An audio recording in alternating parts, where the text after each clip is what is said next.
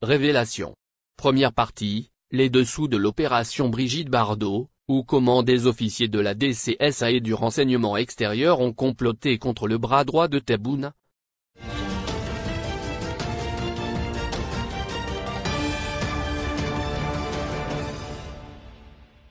Les nouvelles investigations d'Algérie par ont abouti à de nouvelles révélations concernant un complot ourdi contre le bras droit du président Abdelmadjid Tebboune. Un complot qui a été fomenté entièrement dans la salle d'une direction très sensible des services secrets algériens avec la complicité de plusieurs anciens officiers de la Direction centrale de la sécurité de l'armée, DCSA. Explication. Boalem Boalem est effectivement le conseiller le plus influent du palais présidentiel d'El Mouradia depuis le début de l'année 2020, comme il a été attesté dans les révélations d'Algérie par. Il bénéficie de la totale confiance d'Abdelmajid Tebboune, et il est considéré comme son bras droit qu'il consulte régulièrement dans les diverses affaires sensibles de l'État. La présence de Boalem Boalem aux côtés de Tebboune est permanente au point où le président algérien impose sa présence au sein même des réunions très restreintes du Haut Conseil de sécurité. Et cette proximité entre les deux hommes dérange énormément au sein de plusieurs autres cercles composant le sérail algérien notamment certains services de sécurité et responsables de l'institution militaire. Le pouvoir, exercé par Boalem Boalem au sein du palais présidentiel d'El Mouradia terrasse notamment les officiers militaires et anciens gradés des services secrets, qui ont été réhabilités par la Direction centrale de la sécurité de l'armée, DCSA, juste après la mort d'Ahmed Gaïd Salah à la fin du mois de décembre 2019.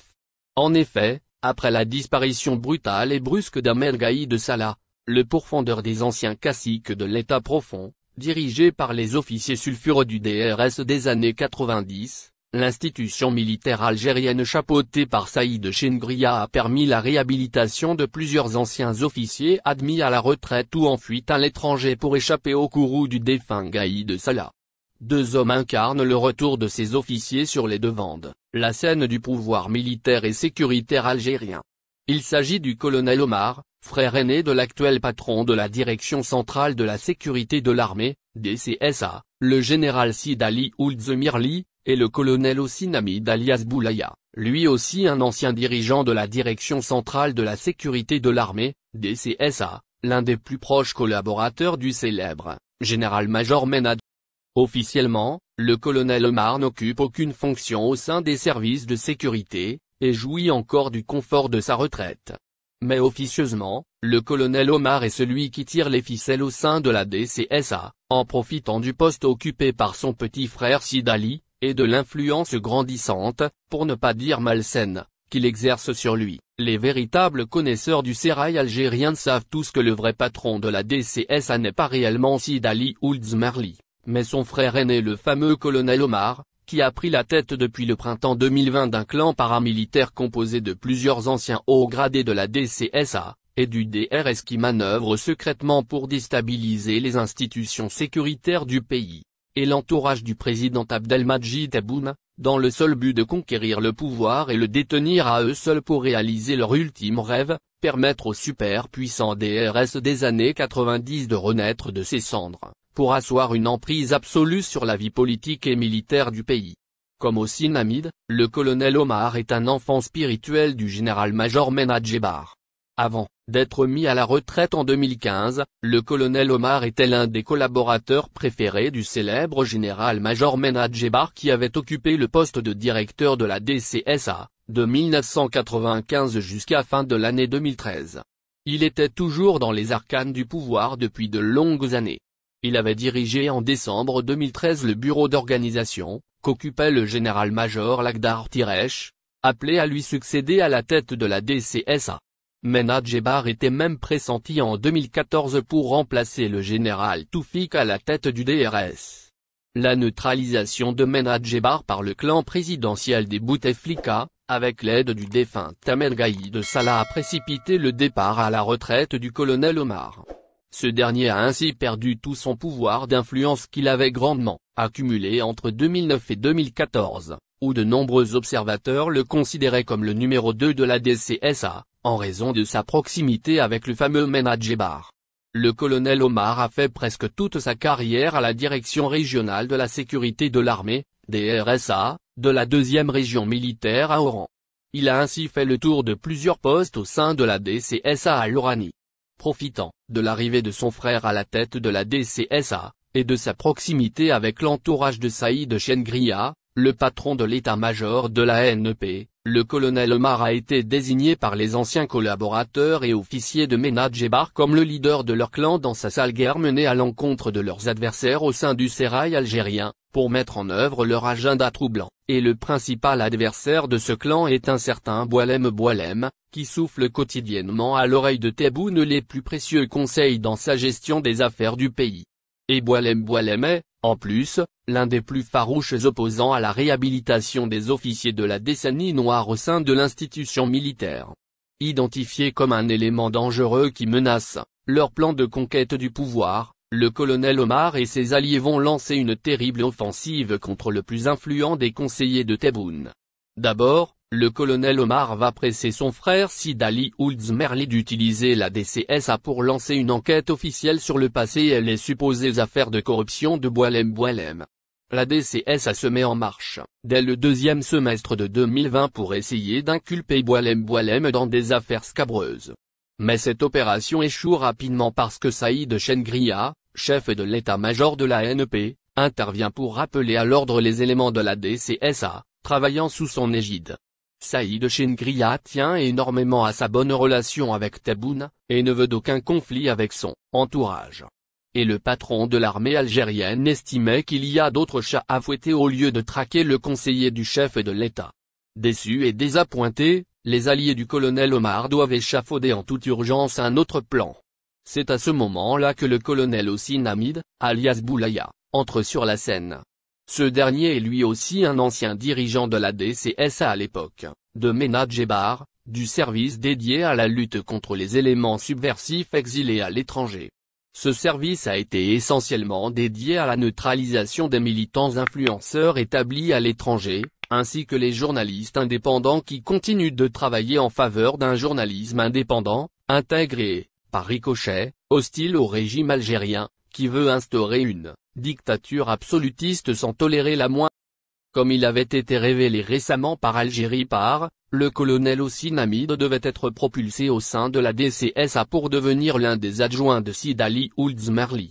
À l'origine de cette réhabilitation inédite, nous retrouvons naturellement le colonel Omar et ses partisans pour la simple raison que Ossinamide, alias Boulaya, est l'un de leurs éléments les plus importants. Après de longues années à la direction régionale de la sécurité de l'armée, des RSA, de la première région militaire de Blida, aussi Namid, appelé Boulaya en raison de sa longue barbe composante distinctive de son allure de militant islamiste qu'il utilisait au cours des années 90, pour approcher les groupes radicaux armés, a été transféré vers le Centre principal militaire d'investigation, CPMI, de Benaknoun l'un des centres opérationnels les plus stratégiques de la DCSA à la capitale Alger. Au cours des années 2000, Ossinamide deviendra l'un des plus influents hauts responsables du CPMI de Benaknoun, devenant même son premier patron jusqu'à son éviction des rangs de la DCSA à la suite de la mise à la retraite de Ménad Jebar à la fin de l'année 2013. À partir de 2014,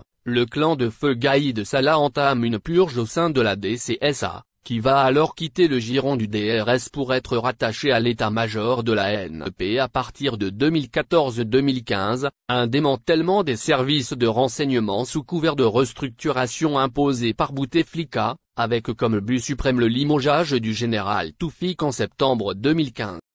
La purge menée par Ahmed Gaïd Salah va faire paniquer Ossinamide et l'inciter à fuir vers l'étranger. Le prétendument colonel valeureux ayant combattu le terrorisme au cours des années 90 va ainsi suivre la désespérée voie de Harga vers l'Espagne, dans la région d'Alicante, dans un geste qui restera gravé comme une trahison traîtrise au regard de son passé de militaire. Le retour de Hossein Hamid au sein de la DCS a été refusé par Saïd Chengria et ses collaborateurs, en raison du passé troublant de cet officier impliqué dans plusieurs dérives, bavures sécuritaires et scandales politiques sur lesquels Algérie part va revenir prochainement. Pour permettre la réhabilitation de son allié sulfureux, le colonel Omar réussit à le placer au sein de la direction, de la documentation et de la sécurité extérieure, des DSE, le renseignement extérieur algérien, en profitant du manque de charisme flagrant du général-major Mahfoud, de son vrai nom Noureddin Mekri, et de son état de santé très fragile qui l'empêche d'assurer correctement sa mission à la tête de la DDSE,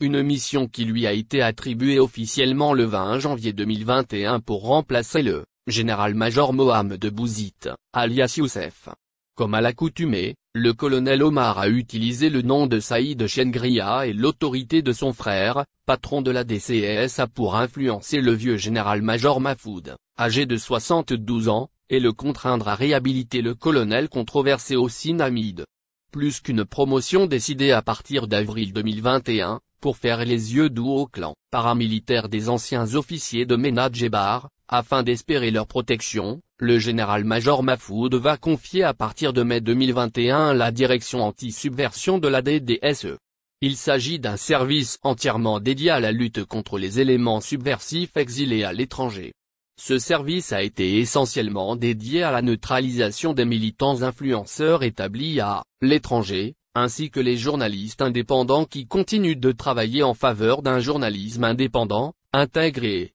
par ricochet, hostile au régime algérien qui veut instaurer une dictature absolutiste, sans tolérer la moindre voix dissidente. Ce service compte, selon nos investigations, une quinzaine d'éléments dont la principale mission est de traquer les sources des journalistes ou opposants influenceurs exilés, qui dénoncent le pouvoir algérien et ses hauts responsables.